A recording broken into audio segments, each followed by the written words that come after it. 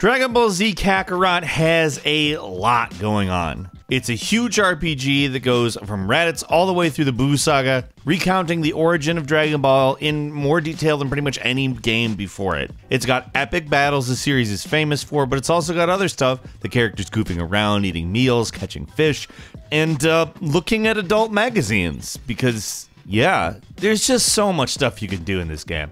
There's tons of systems, menus, options, and stats that, if I'm totally honest here, you can get lost in pretty easily. It can be kind of overwhelming, whether you're just starting out or you're 20 hours in. That's why we're talking about 10 things Dragon Ball Z Kakarot doesn't tell you. Starting at number 10, let's talk combat tips. It is a Dragon Ball Z, so a huge part of the game is, of course, combat. That said, the game is surprisingly light on tutorials. It pretty much just gives you a big wall of text and is like, go out, attack, do it. And that's okay, it's not a super complex system generally, but you may not realize how useful some of the more advanced techniques are at first. Probably the most difficult ability to pull off is the dodge escape, which is where you press the step button just before an enemy attack connects. You might not think to use it a whole lot because the vanish attack, you know, the attack where you press the step button while blocking, which teleports you behind the attacker and lets you attack them from behind, but actually the dodge is just the vanish attack without any drawbacks.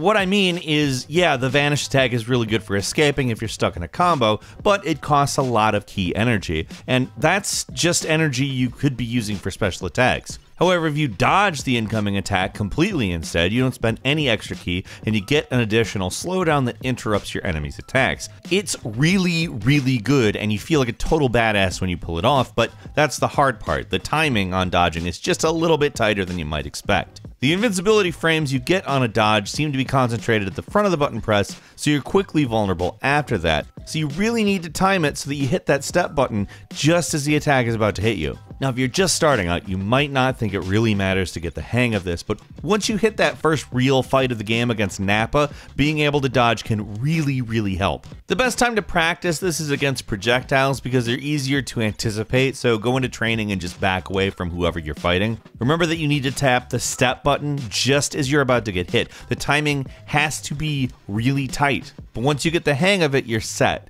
Learning this crucial skill is one of the most difficult to pull off in the game, but also easily one of the most beneficial.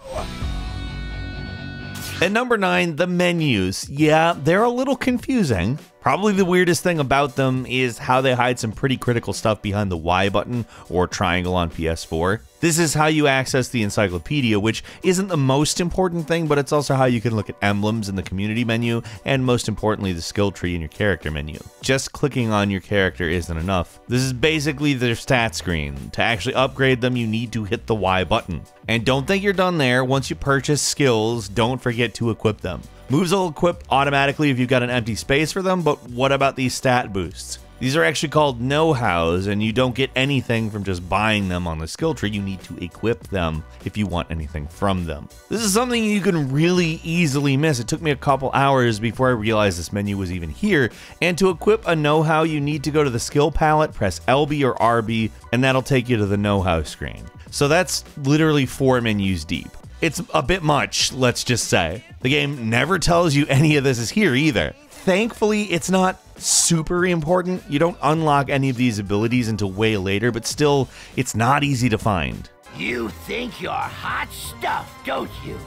Moving on to number 8, it's sub-stories. They're side quests, basically. You'd think there wouldn't be much to explain here, but hoo, that would make you very wrong. Here's the thing, this isn't like Witcher 3 or Fallout 4 or anything where side quests, once you see them and accept them, you can just finish whenever you want. No, in this game, if you progress too far in the story, you can miss out on them.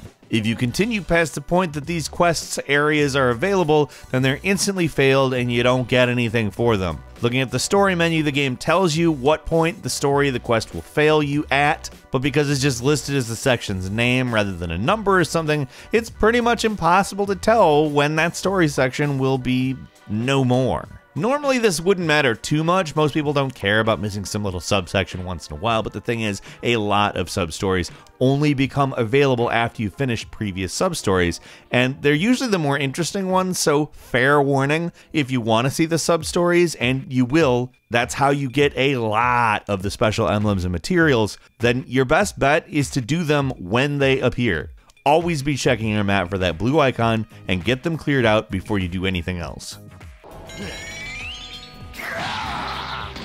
At number 7, it's grinding. It's an RPG, so it's totally possible to grind for experience, but should you? The answer here is no. And I'm not talking about this in like a it'll ruin the experience sort of way. I mean, purely mathematically speaking, do not grind. Trying to grind for experience and levels in this RPG is a waste of time no matter how counterintuitive that sounds. Don't believe me? Let me present my case. Random enemies do not give you very much experience. You get a decent amount from these red aura villainous enemies you'll see sometimes, but regular enemies, better to just avoid them in most cases. Get your experience from the storyline battles or the sub-stories. And here's the really big reason not to grind. It's Dragon Ball Z, so guess what everyone's always doing? Training. As you continue through the story, characters will just get a ton of experience for free and level up a bunch automatically, making any grinding you do before basically silly. Generally, the game keeps you at about the right level for whatever it is you're about to face, but if you want to have an edge on a boss or something, just complete some sub stories and eat a lot of cooked meals. Those give you permanent stat boosts on top of the temporary ones, so yeah, eat a lot of food. Goku's a hungry boy, and food is better than grinding. Don't grind. Little twerp. At number 6, money, or Zeni as it's called in the Dragon Ball universe, is actually kind of a rare commodity in this game. You don't get it for progressing the story, you don't get it for finishing sub-stories, the only real way to earn money is to sell stuff. Thankfully, being you can fly around at supersonic speed and just grab stuff up off the ground, it's pretty easy to amass a gigantic hoard of cooking and crafting materials to sell off. But if you didn't get this game expecting to play Elite Dangerous Dragon Ball Edition, probably the fastest and easiest way to make money is just wish for it. Yeah, it takes a while, but eventually you'll get access to the Dragon Radar, which lets you actually collect the Dragon Balls hidden around the map and make a wish. There's really only a few options. You can refight previous bosses, get Z orbs, get rare resources, or get Zeni. Wish for Zeni and you get 30,000 bucks and that should set you up for any healing items you could potentially need. First half of the game, where making wish is not an option, a good way to collect healing items without having to spend money is to just talk to named characters out in the wild. For whatever reason, if you run into guys like Dr. Briefs or Launch or any of the other goofball side characters, they'll happily hand over healing items free of charge. So if you want to save money, that's an easy way to do it. Number 5, let's talk about technical issues. We're talking on PC in particular, on consoles the game seems to run just fine. I haven't really seen anybody complain about the console versions this buggy, but on PC there's a few glaring issues that really stand out. For one thing, if you've got an AMD card, then a lot of people have reported the game flat out just doesn't work. Like, at all. Thankfully, there's an easy fix for this. You download the newest drivers from AMD and that solves the issue, but yeah, the other big issue is with icons. If you're on the PC and want to play using a keyboard and mouse, the game is still going to show you Xbox controller icons. This is something you can fix. You just go into options, then switch to the graphics setting, and the first option you'll see is icons. Change it to keyboard and mouse, and that should fix the issue. Most games these days automatically switch that though, so doing it manually is kind of weird, but whatever. It's not hard to fix. Hopefully they'll patch that though in the future.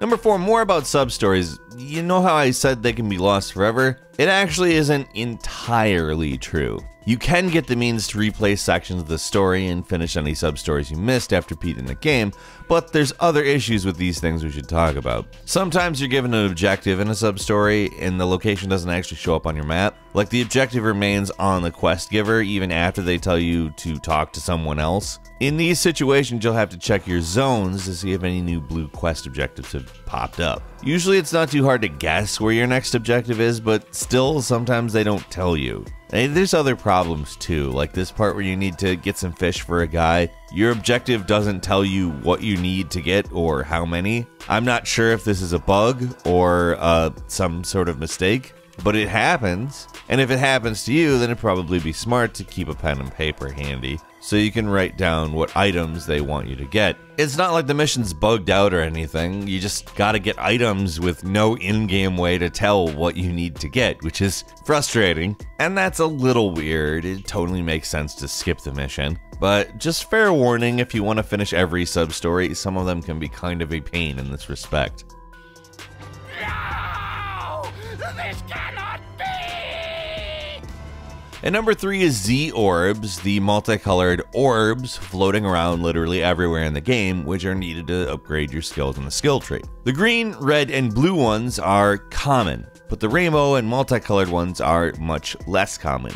In general, it's not really a good idea to spend a lot of time Z orb farming. Just get the orbs you need and level up the skills you actually can level up, and then wait until later in the story to get more, because the amount that you get as the story continues is exponentially more than the amount you get at the start. The further you get in the game, the more Z orbs you get, so don't waste time grinding them. Unless you really want the rainbow orbs. These you can find rarely in the environment from time orbs, phantom airways, and just generally as a reward for finishing sub stories. These you may need to grind as they're rare. They're often required to continue down the skill tree, and most importantly, the amount they drop in the environment doesn't change. So, what's the best way to grind for them? Personally, I've found using time orbs to be the fastest method of getting rare orbs. Here's one early in the game that's easy to find in the southeast Mountain Fields area. Go to Orange City and find the track behind the school. There's a time orb there, activate it and collect the two rare orbs that appear. Now you can either save and quit or leave the zone, and the time orb will respawn. Repeat as needed. This works for any time orb, by the way. I just happen to like this one in particular because of how easy it is to find and repeat. And number two, I hinted at this a little bit previously when talking about making money, but I think it's worth talking about it some more. Buy healing items, and after you buy them, be sure you actually equip them. You might not think you'll need them early on, but eventually you will hit a fight that it's just a brick wall, you've got nothing. If you forget to upgrade a character that you haven't used in a while and suddenly the game expects you to play as them and survive one of the many hopeless battles that crop up in Dragon Ball Z, having a few extra healing items can turn an absolute slog into something that's approaching easy at least. Remember, you can't change your loadout mid mission, so always be prepared and have some healing items on you. You will be very glad that you have done this.